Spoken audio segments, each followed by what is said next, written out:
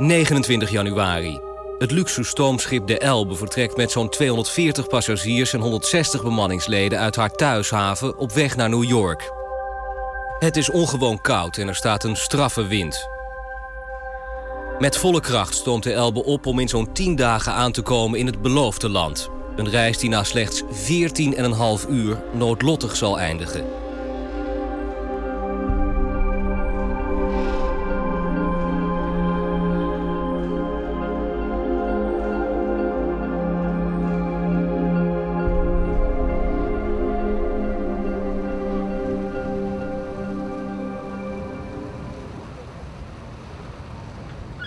De Fogo-aal wordt gereed gemaakt voor vertrek naar de Noordzee. Aan boord zo'n 20 duikers met een missie.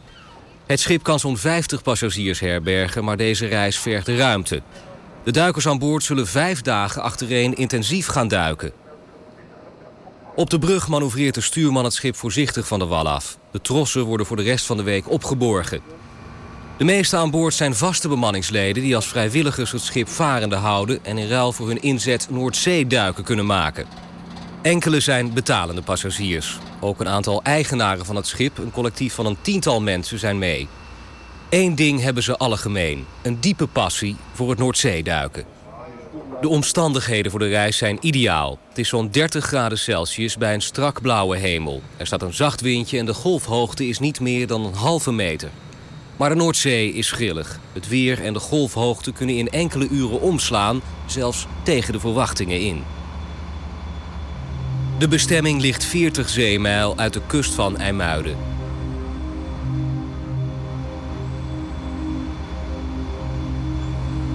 Tijdens de tocht zal de Volgo Isle over enkele scheepswrakken heen varen. De bodem van de Noordzee ligt bezaaid met zo'n 10.000 wrakken. Het doel van deze reis is een bijzondere, de Elbe. Het stoomschip werd gebouwd in 1881 en was de trots van de Duitse rederij de Noorddeutsche Lloyd. Het was 128 meter lang en bood plaats aan zo'n 1000 passagiers en 170 bemanningsleden. Voor de eerste klaspassagiers was het schip zeer luxe en weelderig ingericht en er was zelfs elektrisch licht aan boord. De Elbe was dan ook een populair schip om de oversteek naar het verre westen mee te maken. Vanuit het statige hoofdgebouw van de rederij in Bremen werd een prestigieuze Europese concurrentiestrijd gevoerd om de immigratiehonger te stillen. De Elbe was een geducht wapen in die strijd. Vele honderdduizenden Europeanen wilden aan het eind van de 19e eeuw het toekomstloze Europa verruilen voor het nieuwe land aan de overkant van de oceaan. Jong en oud, gezinnen met kinderen, rijk en arm lieten huis en haard achter om met een nieuwe manier van reizen, het supersnelle stoomschip, naar Amerika te gaan.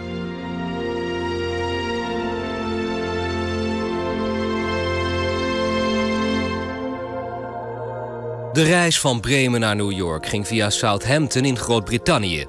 Daar ging een tweede lading passagiers aan boord om de grote oversteek te maken.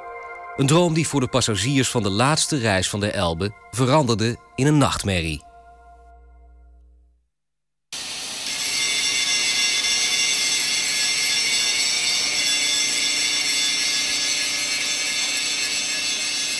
Tijdens de reis van de Fogo Aal wordt de laatste hand gelegd aan een nieuw achteranker. De bemanning gaat het anker gebruiken om het schip ook achter vast te leggen boven het wrak. Zo kan de Fogo Aal tijdens de zware getijdenstroomwisselingen vast op haar plaats blijven liggen. Harry van Stijn is een van de eigenaren van de Fogo Aal. Hij is belast met de organisatie van deze reis. Zelf is hij ook een ervaren duiker en heeft al honderden wrakken op de Noordzee bezocht. Ook op de Elbe heeft hij al vaak gedoken. Elbe is altijd een uh, heel erg interessant uh, wrak geweest, eigenlijk altijd al. Voor iedereen. Heel veel mensen kennen het wrak ook. Maar uh, ja, de, de, bovenkant is, is redelijk uh, afgegraasd, mag ik misschien niet zeggen. Maar uh, er is niet zoveel te vinden meer. Maar in diepere lagen, daar, daar moet nog ontzettend veel interessante objecten liggen. En daar gaan we nou een beetje naar op zoek. Nou, porselein. Porselein, gebruiksartikelen van, van de mensen toen de tijd. gereedschapstukken. delen van de lading. er schijnt veel wijnflessen op te leggen. Ja, zeg het maar. Er is een, er is een Engels Engels bergingsbedrijf is al heel poos op zoek naar de, naar de, naar de kluis van de, van de Elbe. En naar mijn weten is die ook nog steeds niet gevonden. Want ze doen nog steeds, elk jaar doen ze pogingen. Wie weet leggen ze er nu wel op, weten we niet. Noordzeeduiken stelt zwaardere eisen aan een duiker. De stroming kan hard zijn, het is er diep, het zicht is heel wisselend en het weer onberekenbaar. Verantwoordelijk voor die duikveiligheid zijn de duikleiders. Een van hen is Ben van Velzen, een Noordzeeduiker van het eerste uur. Toevallig is deze week, ja, bij toeval is het gewoon natuurlijk een uitgelezen week. Het is uh, een vlakzeetje. Het is ideaal om eventueel ook wat, wat te bergen. Boven de windkracht uh, 5, ja, dan kun je al in principe niet meer gaan bergen. Dan is de zee te ruw en het schip te instabiel om in positie te blijven. Ik denk de hebzucht van, van de duikers, dat is denk ik de grootste bedreiging die je beneden hebt. Dat mensen te lang op iets gaan zitten vroeten. Dan staren ze eigenlijk blind op een bedrijfsport of weet ik wat, dan blijven ze hakken. Nou, maken ze een, een te lange duik, een decompressieduik. Nou, en zeker als je dan gaat hakken, nog uh, hefballonnen gaat volblazen. Ja, dan blaas je wel iets, iets veel lucht uh, ongemerkt in je, je hefballon. Nou, en je hebt geen, geen eigen lucht meer om boven te komen. En dat is vaak het risico. Je moet altijd het kopje erbij houden. De omstandigheden zijn ideaal, bijna tropisch. Niets lijkt een geslaagde duikexpeditie nog in de weg te staan. Hoewel Harry van Stijn daar nooit zeker van is. Het is Noordzee, het is, het is wrakken. Uh, we moeten eerst zien wat het zicht is. Uh, hopen dat het goed weer blijft. Er zijn zoveel factoren die, die goed kunnen gaan. Maar ook heel veel factoren die fout kunnen gaan. Blijft altijd afwachten. Na zo'n vijf uur varen is de Fogo Isle bij het wrak van de Elbe aangekomen. Ja, daar moeten we recht rijden. Met behulp van het satellietnavigatiesysteem kan het schip naar de juiste positie worden genavigeerd, totdat het wrak in het bereik komt van de andere instrumenten aan boord. 170 meter verder, exact, op dit punt, maar we willen die kabel strak houden. Als eerste geeft de sonar, die rond het schip de bodem afscant met rode vlakken aan dat er een scheepswrak op de bodem voor de boeg van het schip ligt. Ieder wrak heeft grotere metalen oppervlakte die de sonar herkent. Met behulp van het instrument kan de Fogo-aal goed boven de Elbe worden gemanoeuvreerd. Zodra het schip boven het wrak van de Elbe is gekomen... komt het ook in het bereik van de dieptemeter... die de bodemstructuur onder het schip scant. Langzaam schuift het schip boven de goed zichtbare resten van de Elbe. Zijn rommingen? Wat denk je? Wat denk je? Nou moet hij er nog zijn, of niet? Nou moet hij er zijn, hoor. Nou zit ik in positie. Ja, dan moet je handen horen. Nou moet je handen horen.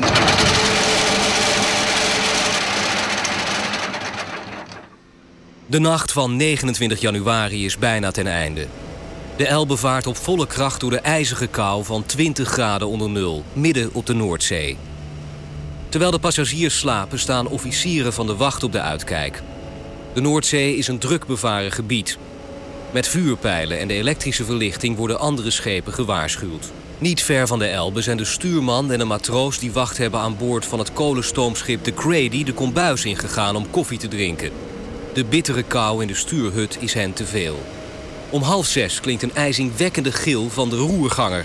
Het noodlot is niet meer af te wenden. Met volle vaart boort de Grady zich in de machinekamer van de Elbe. Terwijl de Crate met boegschade doorvaart... loopt de machinekamer van de Elbe vol met water en de elektriciteit valt uit. De wakker geschrokken passagiers raken in paniek. Men probeert de reddingssloepen te bereiken. Maar de meeste sloepen zijn niet bruikbaar omdat ze zijn vastgevroren. Het noodlot van de Elbe staat vast. Twintig minuten na de aanvaring ligt de trotse Elbe op de bodem van de Noordzee.